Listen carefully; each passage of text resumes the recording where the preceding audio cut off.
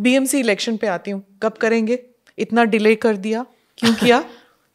हमारे हाथ में नहीं है। हमने डिले नहीं किया है। हम लोग भी चाहते हैं चुनाव हो। ऐसा है कि उद्धव जी की ही पार्टी ने कई पिटिशंस की है। एक रिजर्वेशन की भी पिटिशन चल रही थी। ये सारी पिटिशन कोर्ट ने एक साथ टैग कर दी और एक स्टेटस को दिया।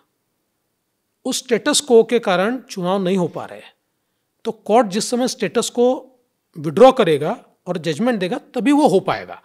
इसलिए जब लोग हमको पूछते और मुझे तो बहुत आश्चर्य होता है, उद्धव जी कहते हैं कि आप इलेक्शन क्यों नहीं करते? अरे भाई, आप लोगों ने पिटिशन किए, आप विड्रॉ कर लो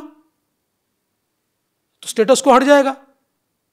ये डबल बात क्यों करते हो? डबल स्पीक क्यों करते हो? ये कोई राज्य सरकार के हाथ में नहीं है। सुप्रीम कोर्ट और मैं ये मानता हूँ कि अक्टूबर नवंबर तक केस का फैसला आ जाएगा, और चुनाव भी हो जाएँगे, और हम भी चाहते हैं चुनाव हो जाए। इसी साल।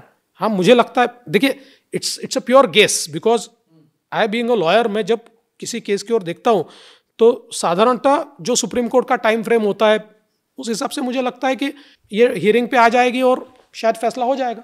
तो आप शिवसेना के साथ लड़ेंगे बीएमसी इलेक्शन या फिर अलग लड़ेंगे? नहीं हम लोग शिवसेना के साथ में लड़ेंगे। और एमवीए का क्या है? आप समझते हैं कि वो अलग अलग लड़ेंगे कि साथ? M- क्योंकि वहाँ से अलग अलग स्टेटमेंट्स आ रही हैं। मुझे ये लगता है कि एमवीए जो है स्ट्रेटेजिक अलायंस करेगा। स्ट्रेटेजिक अलायंस का मतलब ये होता है कि कुछ जगह पर अगर वो अलायंस करे तो उनको नुकसान है हमको फ़ायदा है। ऐसी जगह पर वो अलग लड़ेंगे। कर सकते हैं ऐसे? हाँ, अलग कहीं पे अलग हाँ, कहीं के हाँ, साथ? एकदम तो कर सकते हैं। मैसेजिंग कैसे जाती है? देखिए पॉलिटिक्स में निर्णय पहले होता है और मैसेजिंग बाद में होता है। अच्छा मुंबई 150 का जो स्लोगन है जी। इज़ इट स्टिल ऑन हाँ हंड्रेड परसेंट सॉन नड्डा जी ने स्लोगन दिया था। हाँ जी हम मुंबई मुंबई जीतेंगे अच्छे तरीके से। और प्लेटफॉर्म क्या होगा? वही हिंदुत्व?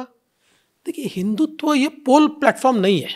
मैं वापस कहता हूँ वो तो हमारी विचारधारा की बात है हम तो हिंदुत्ववादी है ही। तो उसके भरोसे हम वोट नहीं मांगते। हम वोट तो विकास के भरोसे मांगते हैं। और पिछले भी चुनाव में आपने देखा होगा जिस समय मैंने एक पोल कैंपेन लीड किया था और हमने एक बड़ी जंप मुंबई में ली थी, उस समय भी पूरे भाषण में मेरे। मैं सिर्फ़ विकास की बात करता था। ऑलवेज